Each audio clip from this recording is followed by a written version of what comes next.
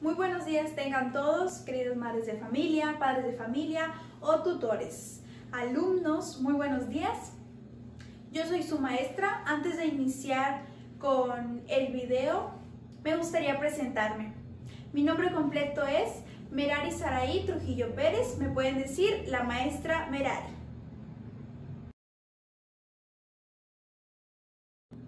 El día de hoy vamos a trabajar con la materia de educación socioemocional. Se preguntarán, ¿cuál es el propósito de la actividad? Pues el propósito de la actividad es que los alumnos reconozcan la importancia y expliquen por sí solos los procedimientos que se realizan para, para afrontar alguna situación o algún problema que tienen, así como también eh, el propósito es que ellos reconozcan las emociones que surgen a raíz de resolver ese tipo de procesos o conflictos, problemáticas que tienen, para que para asociar las emociones que ellos sienten y, y conozcan la autorregulación. El propósito de la actividad se deslinda de la dimensión autorregulación. Esta dimensión la vamos a trabajar en esta clase, en las actividades de esta clase. Pero ¿qué es la autorregulación? La autorregulación es la capacidad que tenemos para regular las emociones, los sentimientos y las conductas. ¿Para qué? Para expresar de forma adecuada nuestras emociones. Implica eh, perseverar ante el logro de objetivos a pesar de las dificultades que estos implican. La habilidad asociada a la dimensión de autorregulación que se va a trabajar en la clase es la habilidad de metacognición. Pero, ¿qué es la metacognición? La metacognición es tener conciencia de los procesos de aprendizaje, de nuestros propios procesos, que permite regular nuestras emociones y también nuestro aprendizaje. Y nos brinda la capacidad de planeación, de aprender de los errores, de generar nuevas estrategias. ¿Para qué? Para favorecer nuestro pensamiento reflexivo. Nuestra dimensión de autorregulación y nuestra habilidad de metacognición nos lleva a preguntarnos cuál es la importancia de conocer y controlar las emociones, nuestras propias emociones para el bienestar. ¿Cuál es la importancia? Pues quien no conoce, quien no regula sus propias emociones, eh, si, no las conoce se ve reflejado en los pensamientos y en su conducta. Entonces de aquí la importancia de conocer y controlar las emociones. ¿Para qué? Para, para respetar a los demás, para tolerarlos y para resolver de manera asertiva los conflictos. Ahora sí vamos a dar inicio con las actividades. Ya que tienen su ficha impresa, escriban el nombre y la fecha donde les indica. Ahora vamos a adoptar la postura de cuerpo de montaña. ¿Cómo es la postura de cuerpo de montaña? Pues es con su espalda derecha, con la cabeza erguida, con su cuerpo muy relajado, las manos sobre los muslos y cerrando sus ojos van a concentrarse. Ahora que tienen los ojos cerrados se van a concentrar en el instrumento que voy a tocar. Yo voy a tocar ese tambor. Cuando yo termine de tocar el tambor, cuando se termine el sonido, ustedes levantan la mano en su casa y completan la frase. Si tengo un problema, le pido ayuda a, por ejemplo, a mi mamá, a mi papá, a mi familia, a quien ustedes quieran, y completan la frase también en la ficha donde indica. Ahora sí, voy a comenzar.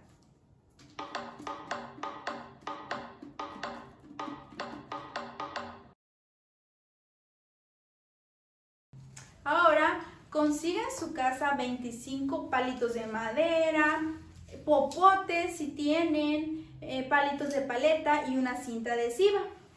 Tiene que conseguir esto para qué?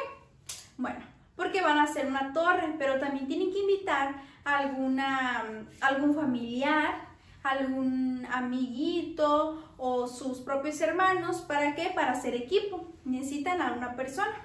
Una vez que ya tenga la persona, ahora sí, lo que van a hacer es construir una torre muy alta, la torre, una torre muy alta con ayuda de estos palitos o lo que consigan. En cinco minutos tienen que hacer esto. Cuando terminen eh, de construir la torre lo más alta que se puede en 5 minutos, me van a enviar fotografía de ella a mi contacto privado. Bueno, ahora los, eh, los invito a que observen la ejemplificación que voy a hacer para que después ustedes hagan lo suyo. Esta es la torre que yo pude hacer, como la pueden observar. Yo tuve algunas dificultades porque no tenía ningún equipo, entonces me imagino que ustedes no tuvieron ninguna dificultad porque ustedes sí tenían equipo. Bueno, ahora van a responder las preguntas que vienen en la ficha. ¿Qué dice la ficha? ¿Lograron el reto? Sí, no. ¿Consideran que afrontaron el reto de la mejor manera? ¿Cómo se sintieron? ¿Bien? ¿Mal? Eh, ¿Cómo iniciaron? ¿Cómo emprendieron la construcción de la torre? ¿Alguno de ustedes dirigió el equipo? ¿Qué hubieran hecho diferente para obtener un mejor resultado? Tal vez ponerse de acuerdo. ¿Un familiar participó? Sí, mi mamá o mi papá. Eh, y si no, ¿por qué no lo hizo? Y por último, ¿por qué es importante el trabajo en equipo? Me gustaría reflexionar sobre esto. ¿Por qué es importante el trabajo en equipo? El trabajo en equipo es importante porque al tener otro integrante que tenga un objetivo común con nosotros, que quiera lograr algo de la misma manera que nosotros, nos sirve porque así nos facilita el trabajo, nos dividimos tareas y ¿qué pasa?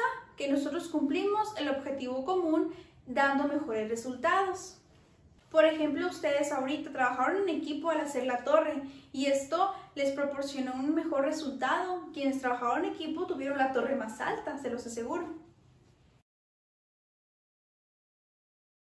Trabajar en equipo implica detenerse a pensar qué actividades va a realizar este integrante, qué tareas, cómo se van a dividir las tareas, planificar. Lleva un proceso de planificación antes de llevar a cabo las tareas y surgen en la cotidianidad. Entonces los invito a ver las siguientes situaciones en las que se implica una planificación antes de trabajar en equipo. Por ejemplo, una situación eh, cotidiana que puede pasar que implica ponerse de acuerdo y planificar antes de llevarlo a cabo es cuando el profesor les dice a los alumnos, reúnanse en equipo y para traer material a la siguiente clase. Es un ejemplo que implica planificar antes de dividir las tareas y del trabajo que se va a realizar previo a las actividades que el profesor proponga. Otro ejemplo es cuando los papás asignan tareas a los, a los hijos. Entonces, los hijos tienen que ponerse de acuerdo y dividir las tareas entre ellos. Esto implica un trabajo en equipo e implica planificar. Planificar antes de realizar cada quien sus tareas y ponerse a pensar qué le conviene a cada uno. Ahora que ya observaron las actividades que yo les mostré, los diferentes ejemplos, ahora ustedes tienen que pensar alguna actividad cotidiana que implica planificar y dividir tareas entre varios integrantes. Obviamente que se trabaje en equipo y tienen que dibujar donde indica la ficha. En el espacio donde indica la ficha ustedes tienen que dibujar esta situación. Ahora por último los invito a reflexionar sobre las actividades que hemos realizado, no sin antes recordarles la importancia que tiene pensar antes de resolver situaciones o de enfrentarse a ellas. De aquí la importancia de, que éstas reflejan nuestras emociones y nos garantizan resolverlas de una mejor manera, más organizada y más afectiva. Van a responder las preguntas por último en la ficha. ¿Es importante pensar antes de llevar a cabo alguna tarea? ¿Sí? ¿No? ¿Cómo se sienten cuando planean algo y todo surge como lo esperaban? Por último, respondan, ¿qué aprendí? ¿Qué aprendieron de la clase?